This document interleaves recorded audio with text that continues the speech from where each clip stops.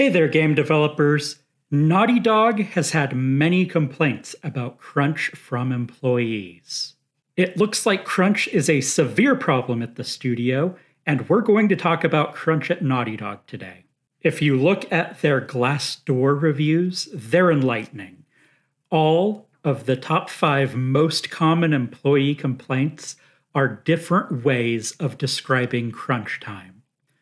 I'm going to quote just a couple of the employees here. A former programmer writes I have been through many crunches. Naughty Dog was by far the worst.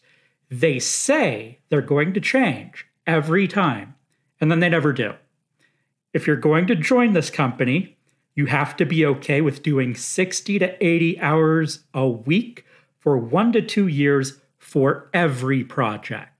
That same developer writes if you took avoiding crunch as seriously as you take making great games, I doubt you would even crunch. An anonymous current employee wrote the following in October of 2019 The crunch hours are awful. This has been the worst and the longest crunch I have ever been part of. Despite management's efforts to mitigate crunch with careful planning, and strict deadlines, the game ballooned, level designs changed after design lock, and thousands of hours of work were thrown away or redone. If you have a child or a loved one waiting for you at home, chances are you won't see their waking faces for days at a time. They either need to be really understanding or this is not the job for you. We keep losing our best people because they keep getting burnt out. These reviews make the human cost of crunch clear. Naughty Dog is asking developers to spend more of their life at work than they spend with their families. Naughty Dog is destroying their employees' passion for making games, damaging their employees' relationships, and destroying their employees' health. Crunch doesn't just affect the workers, though. Crunch makes games and game studios worse. The Glassdoor reviews mentioned that the studio keeps losing its best developers and that thousands of hours of work had to be thrown out or redone. And this is what Crunch does to every studio that relies on it. The Game Outcomes Project shows that Crunch results in lower quality games that don't sell as well as they would have without the crunch.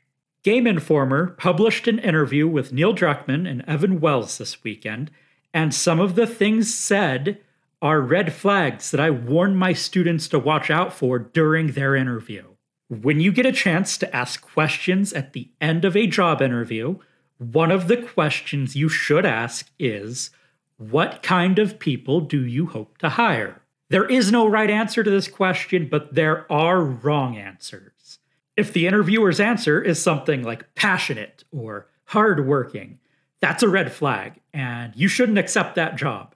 It means that they intend to overwork and underpay you. Many managers consider working overtime to be an expression of a developer's passion. It isn't. It's a weird part of our culture that doing hard work is more valued than doing good work. Every year, I have one or two students that brag about pulling all nighters or about how many hours they worked. And it always feels weird to me.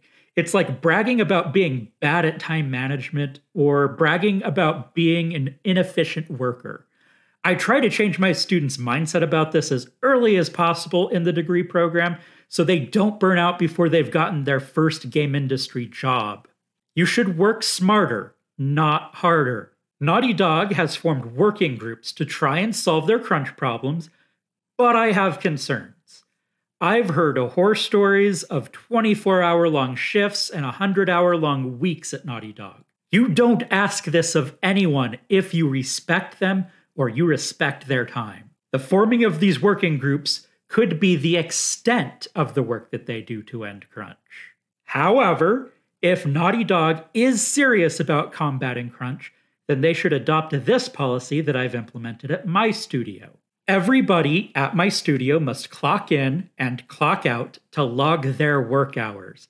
And I must pay time and a half for any employee that works overtime, even if they are exempt from overtime by the overtime exemption rule in the Fair Labor Standards Act. In the United States, the Fair Labor Standards Act, or FLSA, has an exception that allows game studios to overwork and underpay their employees. Any worker that makes more than $35,568 per year is exempt from earning overtime. This means that studios like Naughty Dog can require their employees to work 100 hours a week without compensating them for 60 hours of that work. This exception is why uncompensated crunch time is a huge problem in the game industry, at least in the United States. Ending this exception would force studios to compensate their employees fairly and remove incentive for studios to overwork their employees.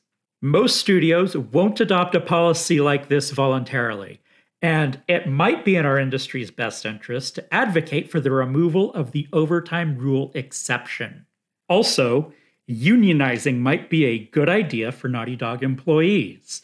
Unions can help combat uncompensated crunch time. If you want to keep up to date with what's happening in the game industry, then please subscribe to my channel. I'm trying to get back into doing these industry updates every weekday. I've also started doing game development tutorials and longer video essays. I should also mention that I started a Patreon. I didn't start this channel to make money, and I don't rely on donations to make these videos. But go ahead and subscribe if you want to have a say in topics of some of my future videos, or if you want your name in the credits of my videos.